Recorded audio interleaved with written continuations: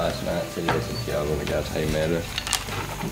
And uh, we're gonna go get them off for him, whether we have to rope them or try to pin them or whatever. But they've been out for about three or four months now, and they just kind of been free ranging. So we're gonna try to. I don't know. I guess we're gonna try to catch them. We're trying to get a game plan together right now, see what we're gonna do. I think all these cowboys are tired. So I'm gonna explain what's going on here. It's about 5.30 a.m. We drove 45 minutes to get here. And the guys are inside. They've been working for like four days straight, probably 12, 12 hour days, running cattle through the chutes. And this morning, they've got 30, I guess, road cows, you could say, that have been running through fences and ended up on piece of property that is not theirs. And these guys are gonna go out, try to catch these wild suckers in a hayfield. And I got to tell you, haven't seen it yet, but I'm gonna say this is about the closest thing to an old school cowboy that still exists. He's like, what about when he first started? I was like, I was given a horse and a rope. I wasn't even given a horse, I had a horse. I was like, I was literally given a rope, and a guy gave me a bottle of medicine. and was like, hey, if you see something sick, like catch it and give it this. I had no fucking idea what I was doing.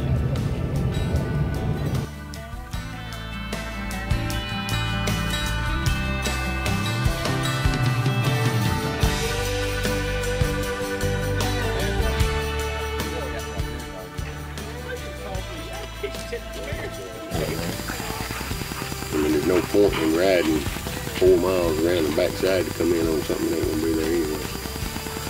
fuck out of mm, that bull. Let's go. Nine of us. Yeah! Some guy comes out. What the fuck are you doing on my place? no, it's gonna be nine of us. Like, yeah, we got him, boy. We're gonna miss him three times. fucking help him take a nap.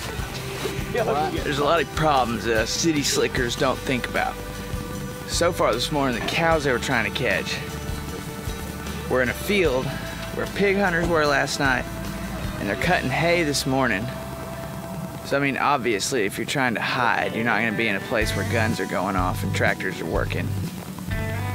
Cows come. Thinking real serious about going and uh, going up to the hardware shop. I'm gonna try to buy a new four wheeler. That's my plan. Jake, what are you gonna do? cows, I'm gonna go out. You gonna take a nap? Yep. What about you? I'm Jake? with you, Jake. These Okay. motherfuckers are dumb. What about you? Get ready for the rodeo. He's got a rodeo tonight. I have a rodeo as well. We're not on the same team though. That's we're really not. It's weird. Parker, what are you gonna do? I'll go watch Gunsmoke. And then tomorrow we'll get a we'll get a we'll kind of be a little more energized and get a better game plan. I mean, his company hats. and- This is the phone call to let us know that it's about to go down. Hello. Okay.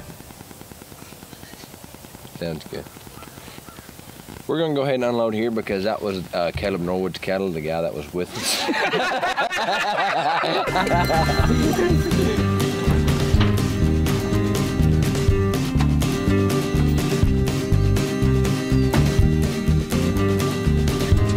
See, this is the part where you. I'm just gonna say stick with what you're good at. So I'm driving the truck. What I was told this morning, being a good horseman is really the trick to being a good cowboy.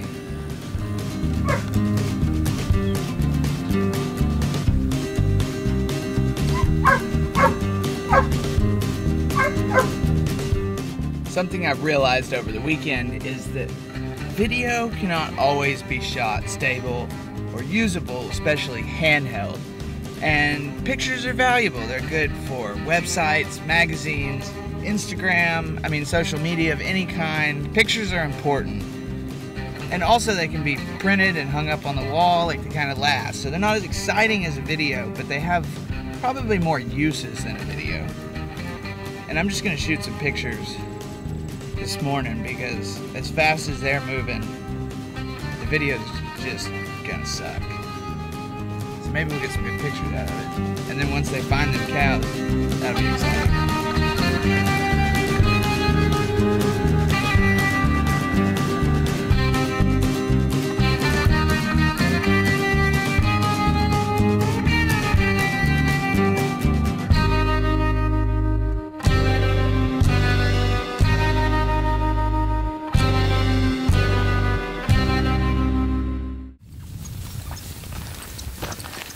So there's cowboy code and then there's superstitions. Parker ended up walking his horse in, sold his hat, never wanted to touch it again, and now his horse is riding fine.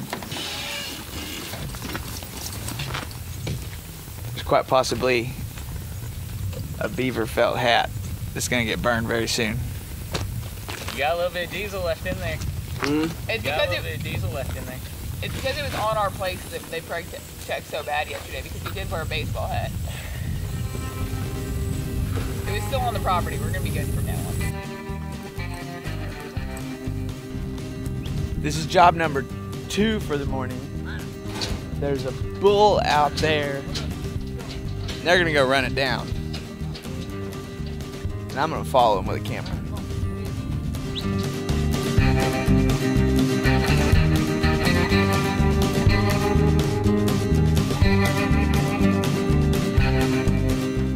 I think the bull was a little outgunned on that deal.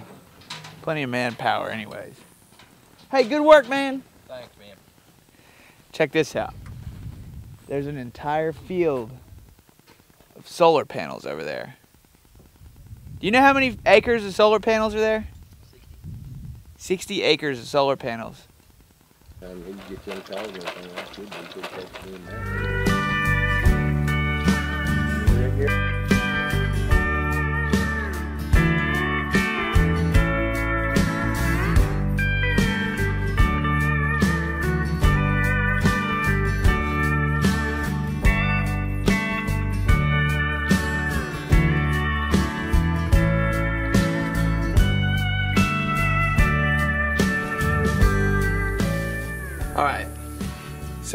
what I'm shooting on right now is a Panasonic DMC LX10. It's just a, a point and shoot in 4K, and I'm curious how it how the audio sounds for one, and how the video looks. Like how if it can be color graded what kind of depth it has. And if you're watching this on an iPhone, none of it's going to make any sense. But if you see it on like a big screen or a TV, then you'll notice the depth of the shot. It does have manual settings, but I'm shooting in auto because I don't know how to use them right now. And, anyways, I'm just curious. It looks pretty good. And it's got a, you know, built-in built-in zoom on it, a flip-up screen. I was gonna take a picture. I was gonna take a shot with my phone, but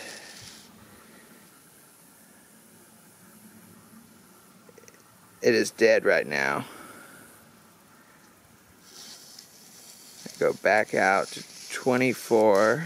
We were at 108. Oh, that's 36 millimeter. so the 4K sensor is also cropped on this thing.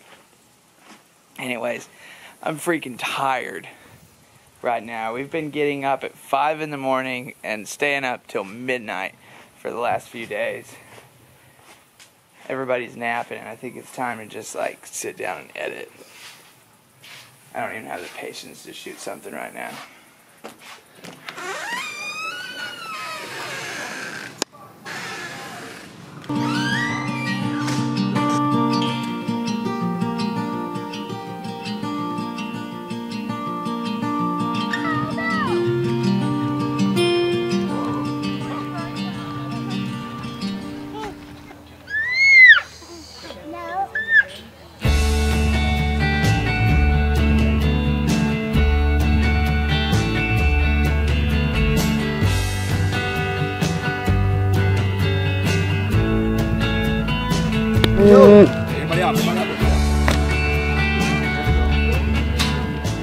Garrett told us this morning him and Dustin were getting ready for the rodeo and came out here tonight. This is more of like a ranch rodeo kind of thing. These guys go to work and then they come out here and compete doing what they do for work. It's really a lifestyle. It's just all.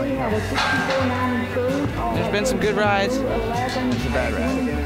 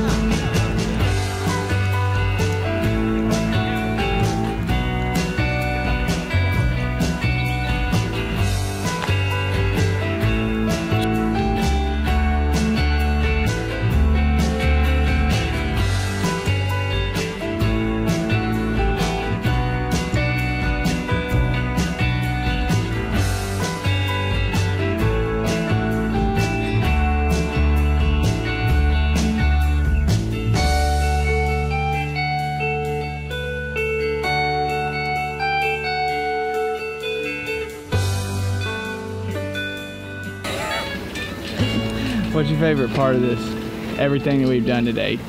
You do you do for work what you do for fun. That's exactly right. It's it's not no different. Besides, it pays a little more if you win.